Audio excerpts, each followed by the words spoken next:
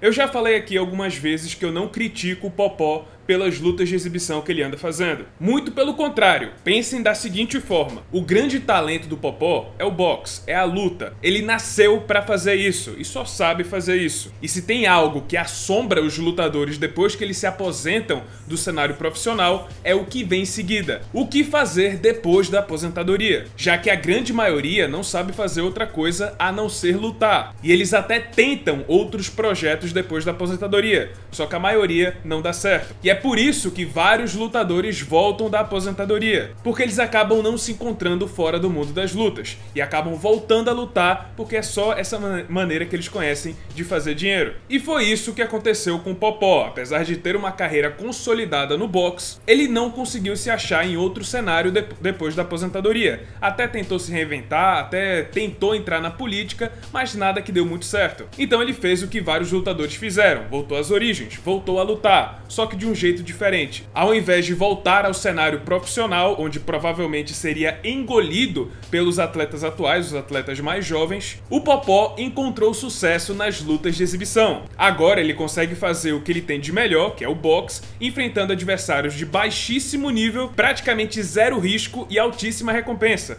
porque ele está sendo mais bem pago agora no Fight Music Show do que no auge da sua carreira. A diferença é que no auge da sua carreira ele estava enfrentando lutadores de nível mundial mundial. Aqui ele está enfrentando influenciadores e muitos que sequer praticaram boxe. Você pode até não gostar dessas lutas de exibição, mas o último cara errado dessa história é o Popó, que achou um jeito de continuar fazendo o que ele nasceu para fazer aos 48 anos de idade e depois da aposentadoria. E sim, ele com certeza quer continuar fazendo lutas de exibição, mas para isso ele precisa fazer uma mudança drástica no cenário atual. Porque a tendência no modelo atual das lutas de exibição do Popó é que o público vá perder o interesse a curto médio prazo. Daqui a alguns meses ninguém vai mais parar para assistir o Popó lutando por 30 segundos contra Whindersson Nunes, contra Bambam, Júnior Duplê, influenciadores que nunca vestiram uma luva. São lutas previsíveis, tanto que a maioria acabou no primeiro minuto de luta e o Popó não sofre ameaça, a gente não tem aquela intriga. E mesmo que apareça outro falastrão igual o Bambam, o público não vai cair duas vezes no mesmo golpe, não vai se deixar levar de novo pela lábia de alguém que nunca praticou boxe na vida. A verdade é que as pessoas não querem mais ver os influenciadores, pessoas populares, sendo levadas à jaula do leão para serem devoradas. Isso já ficou ultrapassado. O que eles querem agora é que sirvam alguma coisa para esse leão que saiba rebater, que saiba revidar, que represente um risco. E o Popó sabe disso. Se ele quer continuar fazendo lutas de exibição e quer continuar ganhando o que ele está ganhando agora, ele sabe que precisa se renovar. Precisa agora enfrentar alguém que traga um perigo, que cause intriga no público. E é aí que Vitor Belfort entra em cena. Bom, antes da luta do Popó contra o Bambam, o Vitor Belfort já estava vendendo seu peixe, tentando se inserir na fila para ser o próximo adversário do Popó. Mas ele percebeu que a abordagem mais humilde não iria funcionar, ele precisava criar confusão, gerar caos, e decidiu adotar a estratégia do Bambam, provocar o ego do Popó. Popó é um amarelão, só pega lutador fraco. Você não tem o meu respeito não, irmão. Você começou a falar de José Aldo, falar de Vitor Belfort, abrir a boca. Meu irmão, tua cara tá toda deformada. Para de ir nesse médico, meu irmão. Seu botox está muito mal colocado. É do México, esse seu botox é mexicano, meu irmão. Não é real. Então me faça um favor, Popó. Se tu não ganhar, Irmão, nem, nem esquece, tu não vai lutar comigo, mas se tu ganhar, vamos, vou te dar uma coça, irmão. Tá preparado? Chamando o ex-campeão de covarde, que é vergonhoso as lutas de exibição que ele tá fazendo, porque ele não corre risco algum. E no fim das contas, apesar de ter negado a luta no começo da conversa, o Popó voltou atrás e agora nas redes sociais ele aceitou o desafio de Vitor Belfort. Fala pessoal, deixar um assunto aqui muito importante para vocês, muito sério para mim, né, como lutador. Eu vivo recebendo vários desafios aí, um deles foi um de Vitor Belfort. É um cara que tá apagado, que tá aí é, na merda aí, né, no, no, no, mundo da luta, tudo, que ninguém gosta desse cara, ninguém vai com a cara desse cara, cara insuportável no mundo da luta. E me desafiando, até falando besteira, já começou a falar da minha vida pessoal, já começou a falar até da minha estética, tudo, que faz, sabe aquela, aquela coisa agressiva, chata, ele começou igual a Bambam. E pelo fato de ter começado igual a Bambam, vai cair igual a Bambam.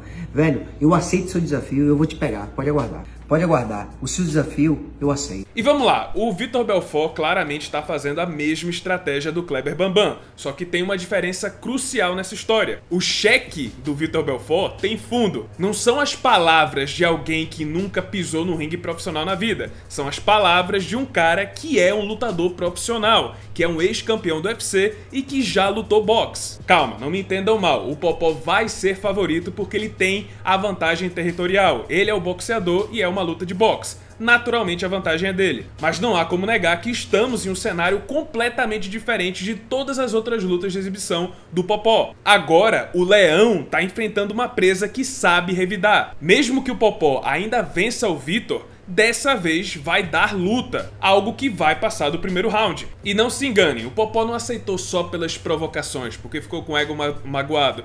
Ele sabe que ele precisava de alguém como o Vitor, porque além do trash talk que o Vitor tá fazendo, ele é uma figura muito popular aqui no Brasil, praticamente todo mundo conhece Vitor Belfort, é uma das é um dos primeiros nomes que surgem na cabeça das pessoas quando falam de luta, quando falam de UFC, MMA, etc. E é o cara que o público quer ver enfrentando o Popó, alguém que tenha chances reais de vencer essa luta. E vamos concordar, mesmo que o Vitor seja azarão, as chances dele são bem maiores do que se colocar o Whindersson, Bambam e Júnior Dublê juntos para lutar contra o Popó. E o mais curioso dessa história é o seguinte, Vitor Belfort é um cara que já competiu no peso pesado e foi campeão meio pesado do UFC, categoria até 93 quilos. Já o Popó, no auge da sua carreira no boxe, competia no peso super pena e peso leve, categorias até 59 e 61 quilos. E lógico, hoje em dia o Popó tá muito diferente, ele tá muito mais forte, muito mais pesado, tanto que agora na última luta contra o Bambam, ele quase pesou 90 quilos na pesagem. Então, em teoria, Vitor e Popó vão estar do mesmo tamanho. Mas é algo a se pensar, será que a mão do Popó derruba o Vitor com tanta facilidade assim? Porque a gente tá falando de um cara que já levou pancada na cabeça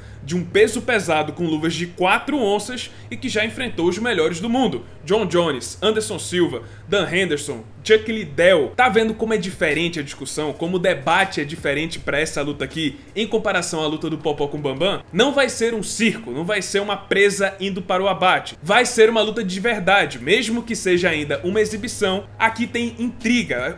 Você fica interessado para saber se o Popó realmente consegue vencer o Vitor. E tem mais, será que o Popó aguenta pancada do Vitor? Porque o grande debate da luta dele contra o, o, o Bambam era se o Popó conseguia aguentar a mão do, do, de um cara que tem mais de 90 quilos. Só que era um cara com mais de 90 quilos que não sabia lutar. Agora é um lutador ex-peso pesado. E para piorar, é um dos maiores pesadelos que um boxeador profissional pode ter um canhoto. E é como eu falei, mesmo que o Vitor perca, e é o cenário mais provável, dessa vez teremos uma luta. Mas é isso, por enquanto ainda não temos uma data oficial do, da luta, é, só teve esse anúncio agora do Popó, ainda nada foi oficializado, mas acho que deve acontecer e acho que vai acontecer ainda esse ano provavelmente no segundo semestre de 2024. E é isso, esse foi o vídeo, espero que tenham gostado. Se você gostou, deixa seu like, se inscreve no canal, já ativando o sininho das notificações para não perder o próximo conteúdo. E é isso, muito obrigado por ter assistido e até a próxima.